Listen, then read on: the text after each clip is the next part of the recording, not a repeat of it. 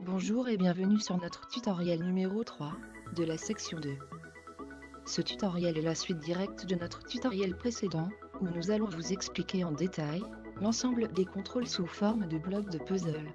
Ceci afin de créer des scénarios d'événements automatiques sous le logiciel Domotix. Au risque de me répéter, je vous rappelle que les tutoriels de la section 2 sont à suivre dans l'ordre de leur numérotation, car ce que vous aurez appris sur un tutoriel précédent vous servira sur l'ensemble des tutoriels suivants. Donc, si ce n'est déjà fait, je vous invite vivement à regarder les tutoriels numéro 1 et numéro 2 de notre section 2 avant de poursuivre sur celui-ci. À défaut de suivre cette consigne, vous risquez de vous perdre sur certaines explications. Je laisse maintenant la parole à mon propriétaire, qui va reprendre là où nous nous étions arrêtés. Bonjour à tous, alors reprenons directement là où nous nous étions arrêtés sur notre précédent tutoriel. Alors petit rappel, pour retourner sur l'interface des événements sous Domotix, cliquez sur Réglages, Passez le curseur de votre souris sans cliquer sur plus d'options et cliquez sur événement.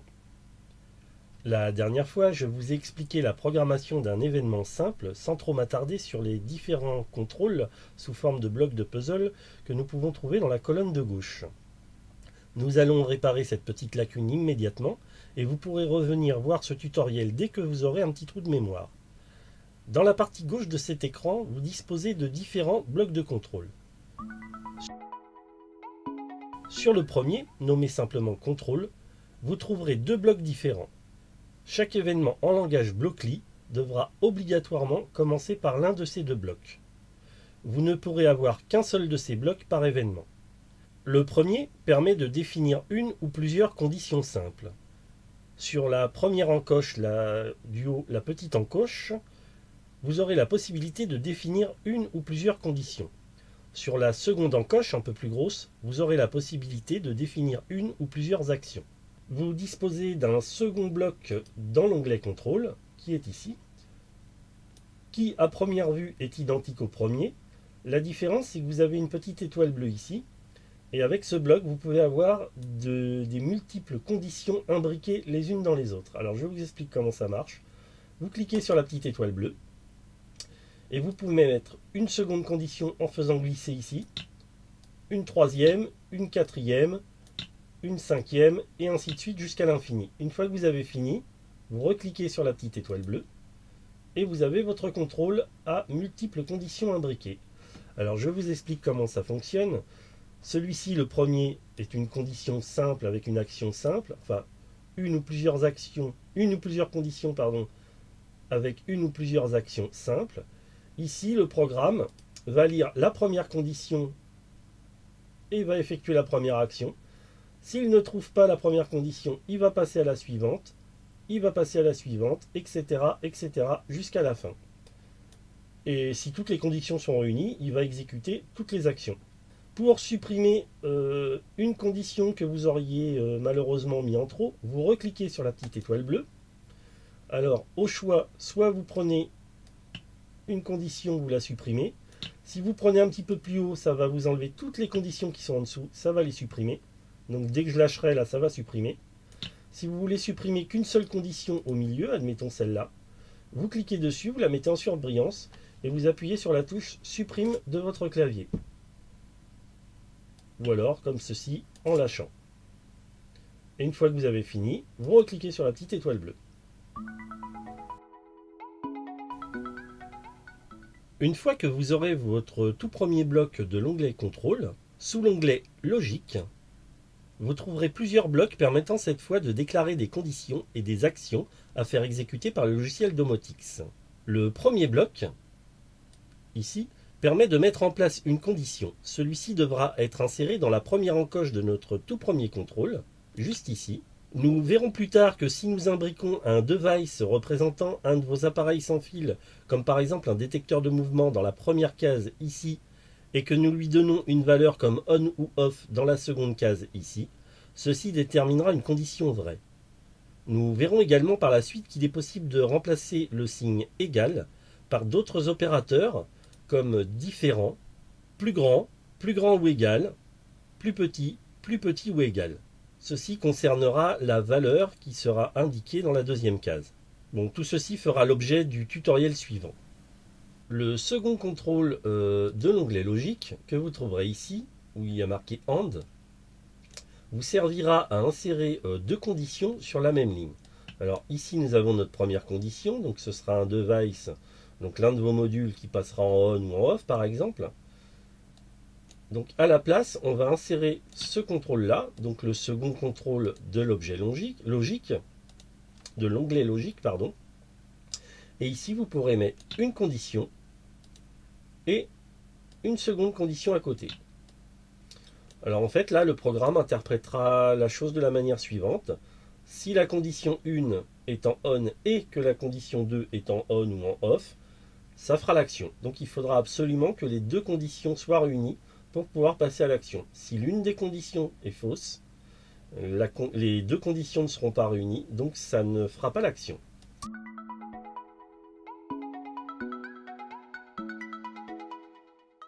Alors, vous avez deux possibilités euh, pour insérer un onglet comme ceci. Donc je vais vous en supprimer un. Alors je fais un clic euh, gauche. Je clique, euh, j'appuie sur la touche supprime de mon clavier, ça le supprime ou alors vous le faites glisser là, ça le supprime également.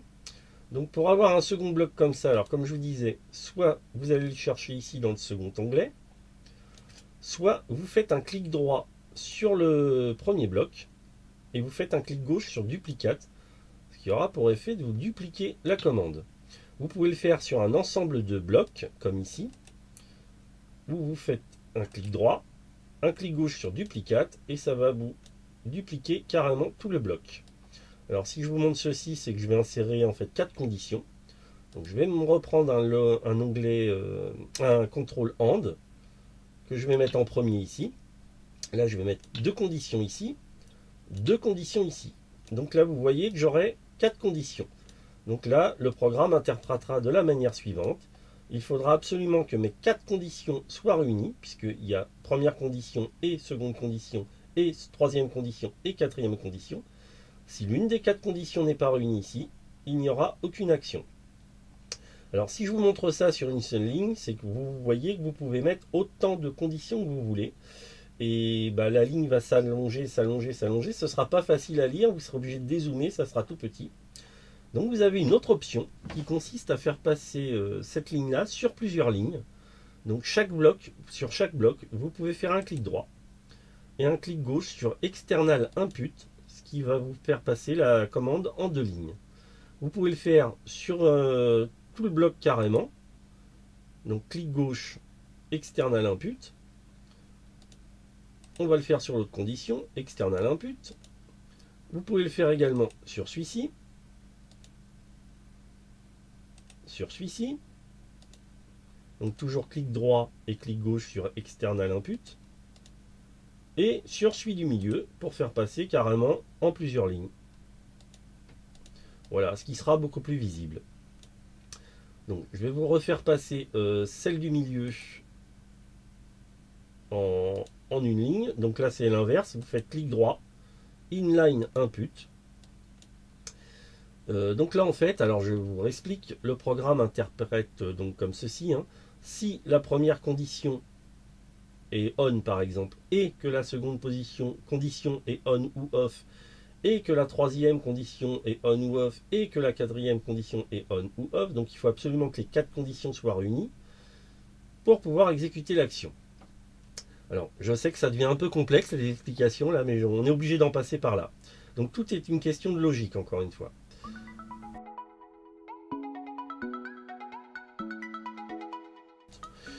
Je vais en profiter également pour vous montrer les autres commandes du clic droit. Donc si vous faites un clic droit sur un bloc, vous pouvez donc le dupliquer. ADD Comment vous permettra de mettre un commentaire ici. Vous taperez ce que vous voulez, ça va rester, ça va vous expliquer votre commande. Donc un clic droit sur euh, Remove Command va le supprimer. Un clic droit sur External Input, donc va le passer en deux lignes un clic droit sur inline input va le passer en une ligne.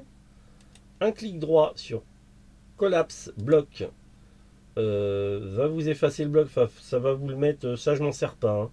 ça va vous simplifier le bloc en fait. Donc un clic droit sur euh, expand block va vous le remettre normal. Un clic droit sur disable block va désactiver le bloc. Donc en fait euh, cette condition là ne sera pas interprétée. Un clic droit sur enabled block va l'activer. Un clic droit sur delete block va le supprimer. Et un clic droit sur help va vous afficher une petite aide sur Wikipédia euh, du langage Blockly. Alors, c'est un langage Blockly pas spécifique à domotique ici. Euh, c'est un langage Blockly standard, donc ça va vous expliquer des choses que vous n'aurez pas accès sous Domotix.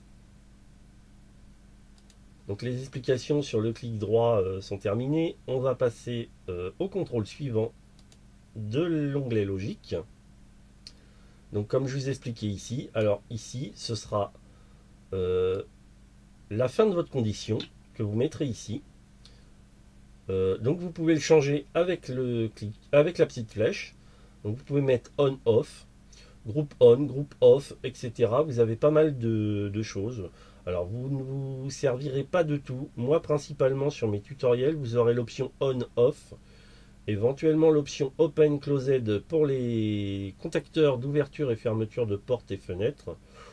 Euh, le reste on ne l'utilisera pas. Alors si on l'utilise dans un scénario d'événement spécifique. Euh, je vous l'expliquerai au moment voulu. Le quatrième bloc, ici avec une encoche plus grosse que l'encoche des conditions, permettra de mettre en place une action. Celui-ci devra être inséré dans la seconde encoche de notre tout premier contrôle, juste ici. Comme pour notre condition sur une action, nous verrons plus tard que si nous imbriquons un device représentant euh, l'un de vos appareils sans fil, comme par exemple un luminaire, et que nous lui donnons une valeur comme on-off dans la seconde case, ceci déterminera une action vraie. Ici, pour avoir euh, plusieurs actions à la suite, inutile de vous servir d'un bloc AND sur les conditions, vous pourrez simplement insérer plusieurs conditions les unes à la suite des autres, et ce sans aucune limite. Le cinquième bloc que nous allons trouver dans notre onglet logique, ici, euh, sera destiné en fait à remplacer euh, la commande on-off ici. Donc soit dans les conditions, soit dans les actions, pour certains euh, devices spécifiques qui font appel à un pourcentage. Alors je vous expliquerai plus en détail ceci euh, dans d'autres tutoriels.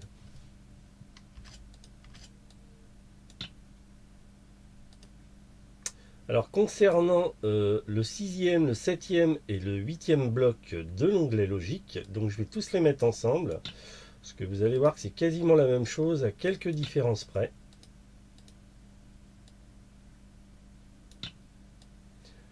Donc en fait, ça détermine comme une action, mais avec quelques petites différences. Donc celui-ci détermine euh, une action. Alors on prendra un device correspondant à l'un de vos modules. Euh, ici, il euh, faudra, faudra mettre une commande alors de type on-off ou autre. Et ici, il faudra mettre un temps en secondes que vous allez voir après dans l'onglet temps, time. Ici, pareil, ce sera encore différent. vous prendrez un device qui déterminera l'un de vos modules.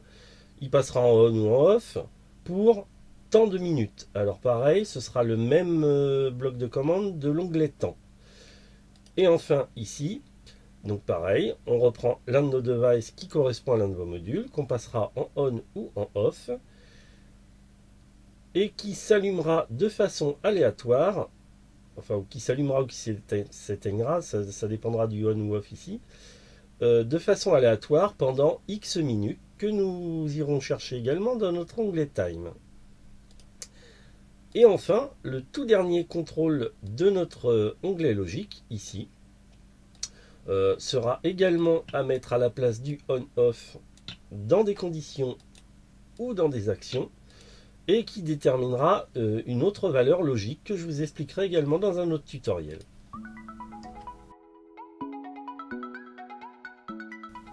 Alors nous passons sur notre troisième onglet Time qui déterminera tout ce qui est une question de temps. Alors je vous ai laissé ce bloc-là euh, exprès tel quel parce que nous allons nous en servir. Donc dans l'onglet Time, je ne vais pas vous expliquer les commandes dans l'ordre. Ici, euh, je vais vous expliquer au fur et à mesure. Alors on va commencer par le, par le premier contrôle qui est ici, qui lui euh, sera destiné à remplacer directement la condition ici. Donc euh, qui dira que si time est égal à, et là il faudra mettre un temps que nous irons chercher également dans time. Alors ce sera le troisième contrôle que nous imbriquerons ici. Et là on pourra déterminer alors directement une heure et une minute. Alors euh, admettons 14 heures que vous taperez au clavier. Hein. Admettons 14h30.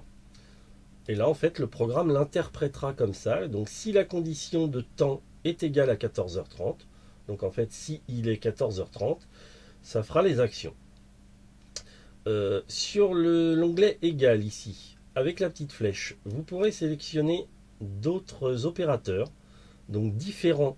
Alors le deuxième sera différent. Donc en fait, le programme interprétera comme ceci. Si le temps est différent de 14h30, donc c'est-à-dire qu'à 14h30 ça fera aucune action, mais si on est à une autre heure que 14h30, et ben ça fera l'action. Euh, vous avez un autre opérateur qui dit euh, plus grand que. Donc qui dit si time est plus grand que 14h30. Donc c'est-à-dire après 14h30. Tout ce qui se passera avant ne fera pas l'action.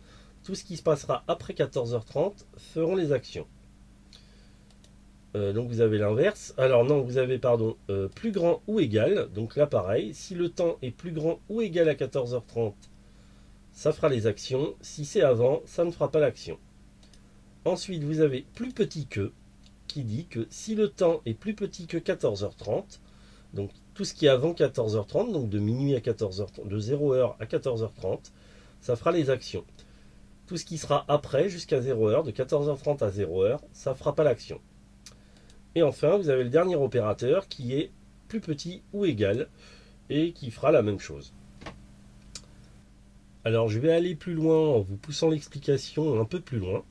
Admettons que je veux une condition, que je veux que mes actions passent entre 14h30 et 15h30 par exemple. Donc là il va me falloir deux conditions time. Alors je vais aller comme tout à l'heure dans l'onglet logique chercher euh, un contrôle AND que je vais mettre à la place. Donc ma première condition ici va être time et là on va changer. On va mettre supérieur à 14h30 que je vais dupliquer que je vais mettre ici et là je vais le modifier. Je vais mettre inférieur à 15h30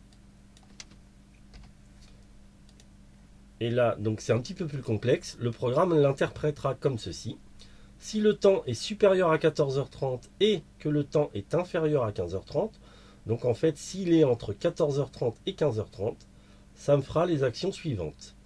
Si le temps euh, est avant ou après, avant 14h30 ou après 15h30, bah ça n'exécutera aucune action. Ce même, euh, ce même contrôle ici, que vous trouverez dans Time ici, là, donc pourra vous servir ici pour les temps en secondes et en minutes. Alors, Là, ce sera différent. Là, on ira taper directement euh, un temps en secondes. Alors, par exemple, 15 secondes. Et là, le programme interprétera de la façon suivante. Donc, alors, je vais vous enlever ça maintenant. Je vais vous remettre une condition normale. Donc, si, admettons, euh, mon interrupteur euh, A est égal à ON, et bien sur cette condition, ça allumera un device, donc ça allumera, je ne sais pas, un autre luminaire qui passera en ON après 15 secondes. C'est-à-dire que dès que celui-là passera en on, et eh ben l'action se fera 15 secondes après. Donc pareil, si je mets 60 euh, secondes, ben, mon interrupteur passera par exemple en on après 60 secondes. Et là, vous pourrez mettre le temps en secondes que vous voulez. Alors admettons 3600 euh, qui correspond à une heure. Donc si mon interrupteur là passe en on, et bien ici mon action, j'ai un module qui passera en on ou en off après une heure. Euh, ce, même, euh, ce même petit contrôle sera utilisé ici, mais là sera interprété en minutes. Donc toujours le même, hein, time, ici. Euh, donc il dira que si mon interrupteur, là dans ce coup-ci, passe en on, euh, mon action passera un autre interrupteur en on ou en off. Alors ce coup-ci, ce ne sera pas après, comme euh, le contrôle précédent, mais pendant 3600 minutes. Donc on peut le faire donc pareil au clavier, hein, après 10 minutes, etc., etc. Ici, pareil, ce sera exactement le même contrôle qui sera interprété encore une fois en minutes. Et là, qui me dira que si mon interrupteur, un interrupteur quelconque passe en on, par exemple, et eh ben, ça me fera l'action qu'un autre module passera en on aléatoirement pendant 10 minutes. Ensuite, nous allons passer à ce contrôle-là, donc le deuxième, euh, qui lui, pareil, euh, sera utilisé directement à la place d'une condition ici, qu'on mettra ici. Alors je vais vous supprimer les autres pour plus de visibilité, sinon on va se perdre. Donc ici, la condition me dira que si le jour est égal à Monday, donc lundi, eh ben, ça fera les actions. Si le jour est égal à euh, samedi, par exemple, ça fera les actions. Ici, pareil, vous aurez des opérateurs différents, un petit peu comme euh, dans l'onglet précédent, euh, comme dans le contrôle précédent. Alors différent de, donc c'est-à-dire que là, si le jour est différent de samedi, ça fera les actions. Donc c'est-à-dire le lundi, le mardi, le mercredi, le jeudi, le vendredi, le dimanche. Et le samedi, ça ne le fera pas. Donc là, pareil, plus petit, euh, plus grand que, plus grand ou égal, plus petit que, ou plus petit, et, plus petit ou égal. Donc ça passera en revue du, du lundi au dimanche. Donc si là, par exemple, euh, alors on va mettre plus petit, si par exemple le jour est plus petit que samedi, donc c'est-à-dire que ce soit lundi, mardi, mercredi, jeudi, vendredi, ça fera l'action. Si le jour est supérieur à samedi, ça ne fera pas l'action. Ensuite, toujours dans l'onglet Time, vous avez ce dernier contrôle qui détermine en fait le lever du soleil et le coucher du soleil. Alors là, pareil, on ira chercher, euh, pardon, un onglet Time. Et là, à la place d'un contrôle d'heure directement, là on ira chercher ce contrôle Sunrise ou euh, Sunset, donc lever ou coucher du soleil. On ira l'imbriquer ici. Et là, le programme me dit que si le temps euh, est égal au lever du soleil, il se passera ça. Si le temps est différent du lever du soleil, il se passera ça, etc. Plus grand, plus petit, plus grand ou égal, etc. Et pareil pour le coucher du soleil. Donc vous pourrez vraiment tout paramétrer. Alors admettons que vous décidiez d'allumer, de, faire tout un tas d'actions après le coucher du soleil. Donc on prendra coucher du soleil. Et là on ira plus grand que. Donc c'est-à-dire que si le temps est après le coucher, plus grand que le coucher du soleil, donc après le coucher du soleil, il se passera tout ça.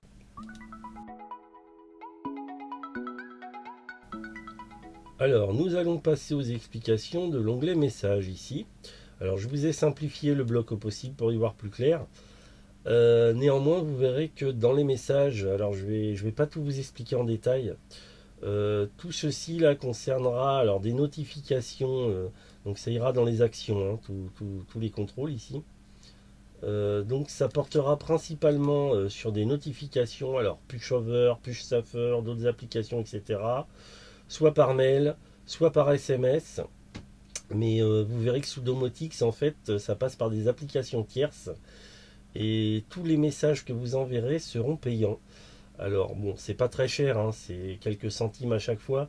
Mais euh, principalement dans mes tutoriels, je n'utilise pas ça. Moi, j'utiliserai éventuellement celui-ci. Euh, moi, je l'utilise pour envoyer des notifications, messages et des photos de mes caméras IP. Donc par exemple, quand j'ai une détection d'alarme, une détection incendie, etc., ça m'envoie un message sur mon téléphone portable via push Safer, ainsi qu'une une photo de, la caméra de la pièce concernée. Donc je vous expliquerai tout ça de toute façon sur un autre tutoriel, donc je ne rentrerai pas dans les détails. Donc ce qui va nous intéresser principalement dans l'onglet messages, euh, donc ce sera ces deux contrôles ici. Alors OpenURL, ainsi que HTTP qui viendra uniquement s'insérer ici. Alors, en fait, ici, vous aurez la possibilité, alors pareil, ça fera l'objet d'un autre tutoriel également, euh, de lancer des requêtes HTTP. Vous allez voir qu'on s'en sert euh, fréquemment et que c'est très très pratique. Donc, je rentrerai dans les détails de toute façon sur les tutoriels suivants de cette section. Et enfin, ici, ce sera pareil pour lancer un script. Alors pareil, je ne l'utiliserai pas sur mes tutoriels, donc je passerai sur l'explication.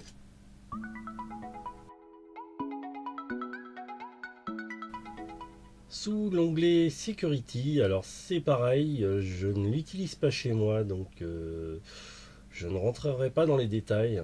En fait, vous aurez la possibilité euh, d'armer, de désarmer, d'armer l'alarme totale ou d'armer l'alarme en mode partiel.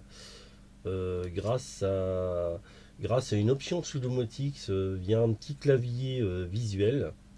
donc nous aurons ici dans, dans Réglages, dans Plus d'options et dans Panneau de sécurité.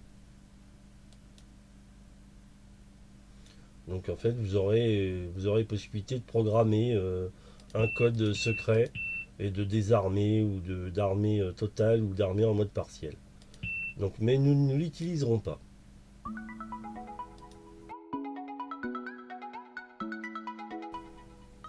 Nous aurons ensuite l'onglet User Variable qui concerne les variables utilisateurs. Alors, idem, hein, je n'utilise pas ceci sur, sur mon installation, donc je ne vais pas vous embrouiller l'esprit avec trop d'explications. En fait, c'est dans Réglages, dans plus d'options et dans variable utilisateur, vous aurez des options supplémentaires pour utiliser euh, des variables d'utilisateur. Mais bon, euh, je ne vais, pas rentrer dans les détails non plus.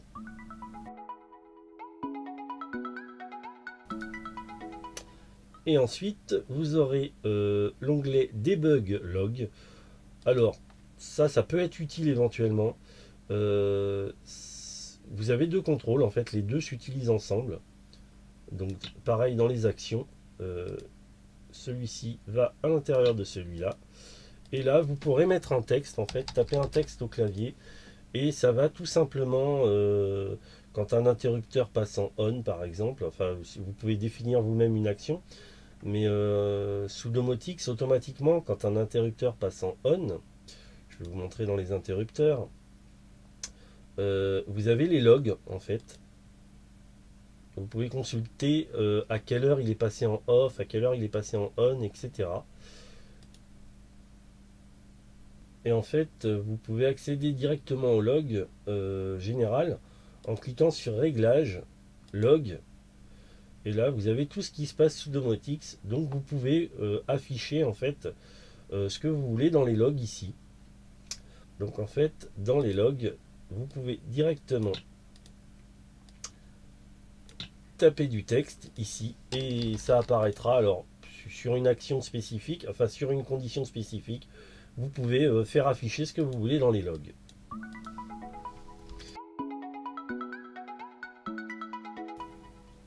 Et enfin, dernier onglet ici, les devices, alors qui seront divisés en plusieurs catégories. Euh, donc vous avez tout d'abord les switches, donc euh, qui concerne tous vos modules sous qui se retrouveront sous l'onglet interrupteur, qui seront classés par ordre alphabétique. Alors vous avez les A à F, de G à L, de M à R, de S à Z. Alors je vais vous montrer par exemple, moi la plupart de mes modules commencent par euh, le mot module, donc ce sera dans les M. Donc on va sur la petite flèche ici. On va chercher son module. Alors je ne sais pas par exemple... Euh, je vais vous prendre un exemple concret, le module de mouvement de mon balcon qui va s'insérer ici dans la condition en premier, dans la première encoche. Donc en logique, par exemple, on met un on, ce qui fera dire au programme que si mon module de mouvement de mon balcon de la salle capte un mouvement, il va passer en on. Et ensuite, dans les actions, là, on va choisir un autre switch donc qui sera par exemple, euh, je vais mettre la lumière de mon balcon. Donc module LED balcon de ma salle qui passera également en on. Donc en fait, là, c'est tout bête. Si un mouvement est détecté sur le détecteur de mouvement de mon balcon, il passera en on. Et en action, mon, ruban LED de mon balcon passera également en on. Donc vous aurez différents switches, comme je disais. Donc ici, tout ce qui est vos modules. Ici, euh, tout ce qui concerne les onglets que vous allez trouver dans température. Donc euh, c'est tout ce qui est baromètre, euh, toutes mes sondes de température, etc. qui se classeront automatiquement sous l'onglet température.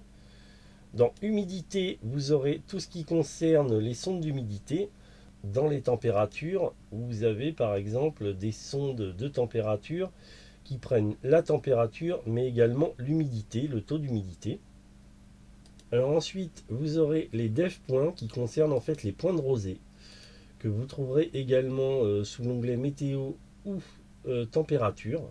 Voilà. Ensuite, tout ce qui concerne baromètre, les données barométriques que vous trouverez également euh, dans l'onglet météo. Donc là, ce sont mes stations météo distantes par Internet. L'onglet Weaver concerne également tout ce qui concerne la météo. Alors là, ce sont les autres onglets, la pluviométrie, la température, le vent, la vitesse du vent, le taux d'UV, etc. Utility, alors c'est tout ce qui concerne euh, ce qui est dans l'onglet mesure. Alors ce sera d'autres sondes. Alors par exemple des sondes de luminosité, euh, des consommations électriques, etc. Ensuite vous avez le sous-onglet euh, Scene Group. Alors là c'est tout ce qui sera dans scénario. Alors je vous expliquerai après parce que jusqu'à maintenant je vous ai dit que je n'utilisais pas l'onglet scénario. en fait depuis peu je m'y suis mis et c'est assez pratique également. Donc en fait, vous verrez que vous avez des scénarios sous l'onglet scénario, des scènes, des scènes ou des groupes en fait. Et donc avec l'onglet euh, device, scène et groupe, vous pourrez aller chercher vos scènes et vos groupes. Ensuite, vous avez tout ce qui concerne les caméras. Tout ce qui concerne, alors 7 points, euh, je ne sais pas à quoi ça correspond parce que je ne l'utilise pas. Et en fait, tout ce qui concerne euh, les alarmes Z-Wave. Alors généralement, ce sont les alarmes de, de niveau de pile, niveau de batterie. Donc vous voyez, j'ai plusieurs détecteurs euh, en Z-Wave. Et en fait, j'ai l'alarme de niveau de batterie euh, de mon couloir, de mon palier et de ma salle. Alors bah écoutez, nous arrivons à la fin de ce tutoriel. Alors ce petit tutoriel était juste pour vous montrer l'ensemble des contrôles de gauche. Euh, néanmoins, rassurez-vous, hein, vous aurez euh, sur mes tutoriels suivants euh, des exemples, beaucoup d'exemples de scénarios tout près que je vous détaillerai pas à pas et en fait on reviendra beaucoup là-dessus. Donc ici, ça, vous servira uniquement à revenir sur ce tutoriel s'il vous arrive d'avoir des trous de mémoire. Alors, pendant qu'on est ici, j'ai autre chose à vous expliquer. Alors, quand vous enregistrez un événement, alors, je vais l'appeler test. Voilà. Si vous avez une page vide et que vous faites enregistrer, la sauver, en fait, ça n'enregistrera rien du tout. En fait, il vous faut absolument euh, commencer un minimum euh, votre petit scénario d'événement pour pouvoir l'enregistrer. Alors, on va mettre une condition, on va mettre une action, en fait, l'appareil, tant que les cases sont vides, vous ne pourrez pas enregistrer, ça ne prendra pas en compte. Donc, il faut commencer un minimum à remplir les cases. Alors, vous mettez n'importe quoi pour l'instant, hein, on s'en fiche. Le but, c'est d'avoir déjà une condition. Vous pourrez revenir par la suite pour le modifier. Donc, le but, c'est d'avoir une condition. Là, si vous faites enregistrer, ça n'enregistre toujours pas. il va vous falloir une action. Donc euh, pareil, on va prendre un switch, alors je ne sais pas, n'importe lequel. Voilà, et à partir d'ici, même si ça, ça reste vide, normalement, vous allez voir qu'en enregistrant, voilà, événement sauvé, test, que vous allez récupérer dans la liste de vos événements sous Dometics ici, et vous pourrez revenir dessus euh, pour le modifier, et pour l'enregistrer à nouveau, et pour le rendre actif, etc. Voilà, bah écoutez, je vous dis à bientôt pour un prochain tutoriel. Notre tutoriel numéro 3 de la section 2 est désormais terminé. Vous pourrez revenir dessus si nécessaire, afin de vous rappeler à quoi servent chaque contrôle. Néanmoins, Rassurez-vous, sur les nombreux exemples d'événements qui suivront par la suite, nous reviendrons pas et pas sur chaque commande. Sur notre prochain tutoriel, nous allons encore approfondir un peu plus le sujet, en vous montrant différents exemples de scénarios d'événements simples, et de scénarios d'événements multiples imbriqués. Dans l'attente de vous revoir prochainement, n'hésitez pas à vous entraîner avec ce que vous venez déjà d'apprendre. A bientôt.